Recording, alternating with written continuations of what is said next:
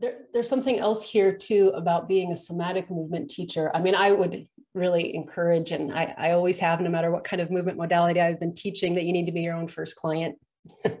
but really, if you're going to offer somatic work, it's so, so imperative that you take yourself into the journey and the processes yourself over and over and over and over again, because essentially that's where your guiding comes from. It comes from your experience. Sure, we can learn skills, we can have ideas and concepts and theories and all of these things, and we do, and we like those and we use those.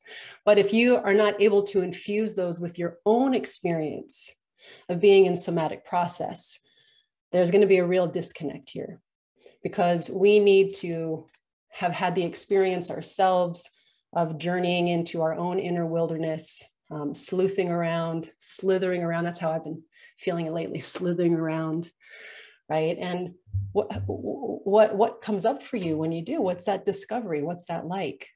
It's you being able to hold that space within yourself that then to offer, so that you can offer it to others. The, so today, the, the work can be raw, and can really bring us to our knees.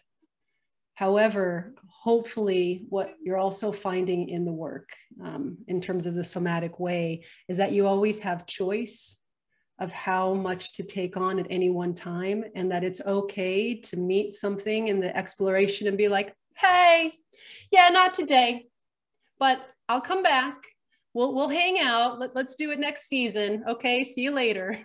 And, mm-hmm. and that's okay right? Mm-hmm. and there's a commitment to saying hey one day or another time or when I have more resource or when I don't have all of this other life happening, I'm going to come back here. Right. And mm-hmm. to then be able to what we did today, you know, pendulate back to resource and, and know that simultaneous to the hard work and the discomfort, there's also joy and grace and connection. And that that's here too at the same time. And that's one thing that I appreciate so much about somatic practice is that and both.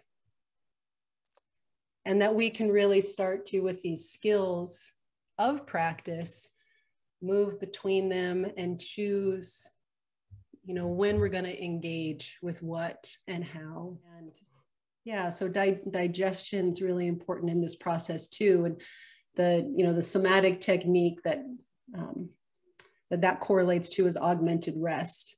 And we did some of that today right? So we can bring that kind of practice into we can bring augmented rest into our movement practice. We can remind ourselves oh move and rest. Move and rest. And what i find is when i um, and intentionalize the move and rest kind of phrasing in my movement practice, it does translate then into my life. Well, and I I appreciate that too because I think many of us are called to teaching because this is how we're the best student. Right? Or sharing this kind of work because it is how we're the best student because we're participating with what we're teaching. And so it's actually reciprocating back into us. So that's also very powerful, right? Mm-hmm. And so, yeah, and just to say that this last practice that we did, I wanted to give an example of how to use, you know, the the um, the document that we opened up with in terms of, you know, nervous system downregulation with somatic movement, a way to use that um, document into practice. So either checking in with yourself or you're checking in with a client or you have a group of students and you're just kind of like taking in the climate of, of the group a question of like, oh, okay, what would be the best way for me to help people enter a practice? What would be the best way for me to help this person enter the experience I'm about ready to offer? Right.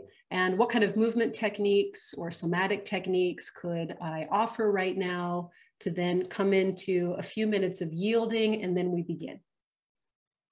Right. It's kind of like I think about it sometimes as, you know, walking in the door and you take off your your shoes and you take off your coat and you hang your bag or your purse or whatever you have, maybe your gloves, things like that, right? And then you come in, you come into a space like what what is that like? To me, that's the drop in. Oh, okay, I'm here. I'm I'm I'm ready now. Um, just kind of like a a rock or yeah, a little magic stone that I want all of you to carry with you while you're in this program of IMS with you is that these are all these are all doorways, they're all opportunities. Um, they're, you know, they're, they're all part of a story, but inevitably what my hope and desire is for each of you is that you playfully interact with these things and continue to create what it is that you're here to do. I'm not offended by you shifting and changing or updating or taking out or adding to. That's this program is here for each of us. We all have different ways that we're working with people. This program is here as a kind of like a web that we can all commonly come in and participate together with and have some kind of like universal principles and elements, ideas, however you want to name those, that we agree upon that are important. And then, yeah, create, paint, draw, dance, weave,